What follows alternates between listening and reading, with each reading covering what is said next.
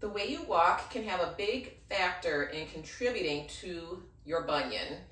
Ideally, we walk with our feet pointed straight forward, but it's pretty common for people to stand with one or both feet turned out. You may notice if you turn your foot out more on one foot that that's the side that has the bunion. So ideally, we walk with our feet straight naturally without having to think about it, without having to correct it.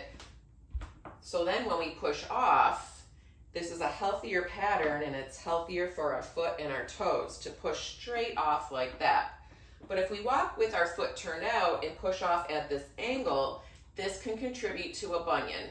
This um, continual push off with the foot angled out like that can contribute to the bone building up here and can also contribute to that angle that the bunion makes. So do consider your walking pattern and there's a lot you can do to change your walking pattern. I don't recommend thinking about changing your walking pattern while you're walking. It takes 0.6 to 0.8 seconds to take one step. That there's a lot going on in that short amount of time, too much going on to try to really change it. It's a subconscious pattern.